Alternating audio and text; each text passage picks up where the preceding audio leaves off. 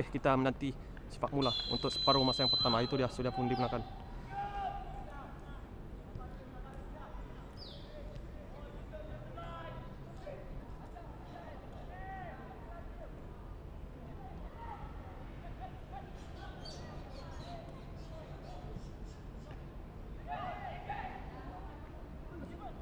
Oh.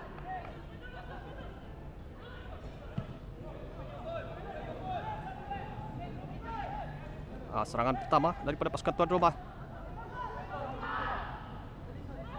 Coba mencari ruang di sini.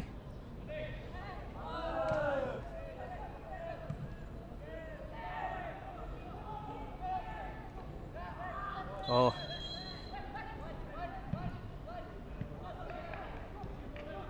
Ah, satu lorongan yang baik. Peluang untuk melakukan serangan.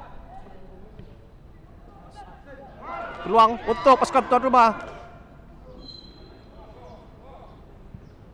Sepakan yang baik. Pemain Sri Pahang.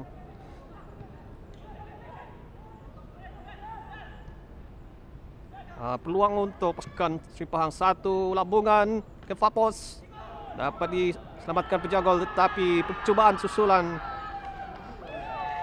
dapat dilakukan untuk menghasilkan jaringan gol yang pertama. Serangan balas pasukan Sri Pahang ketika ini satu percubaan terus.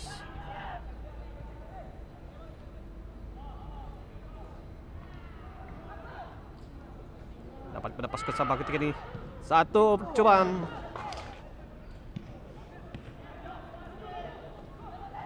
Ah, serangan.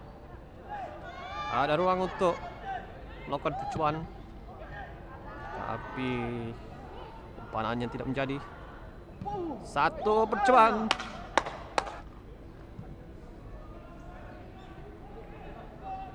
Peluang untuk pasukan Sabah. Masih lagi dalam kawalan pasukan Sabah tetapi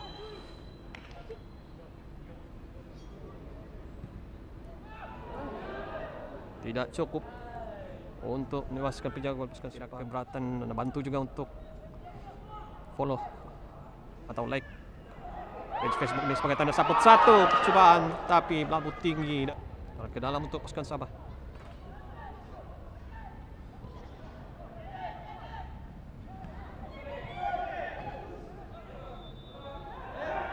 Dan sepakan percuma harus melakukan sepakan yang baik.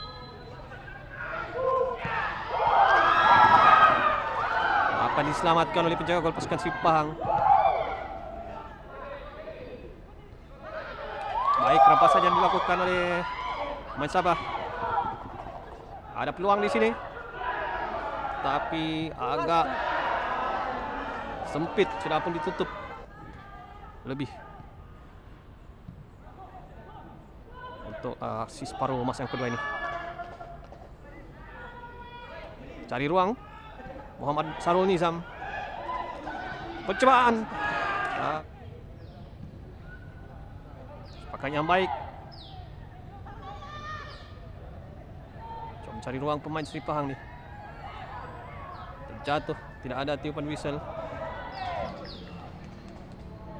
Yaitu Muhammad Ikwan yang menampilkan permainan yang begitu baik untuk pasukan Sri Pahang. Satu umpan tandukan. Itu dia gol. Penyamaan untuk pasukan tuan rumah. Caranya kurang tepat sebenarnya.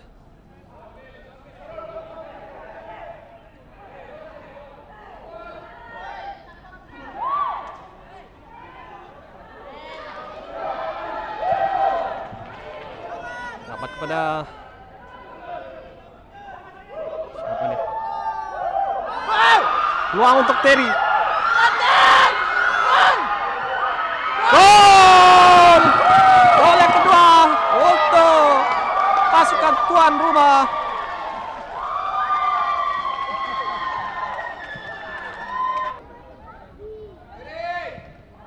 Pandang ke dalam kawasan penalti bahaya untuk pasukan Sabah.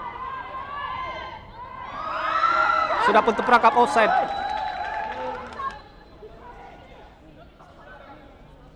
Harus berhati-hati. Serangan Sabah dan satu percubaan terus. Tapi masih ada serangan yang cuba dilakukan oleh pasukan Sri Pahang ketika ini. Bahaya. Hampir-hampir lagi kawanan.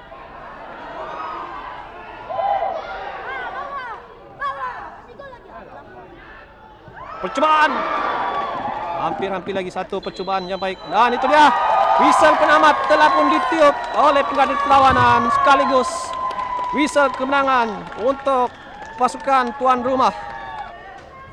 Terima kasih kepada rakan-rakan penonton semua yang telah pun menonton siaran ini sehingga habis.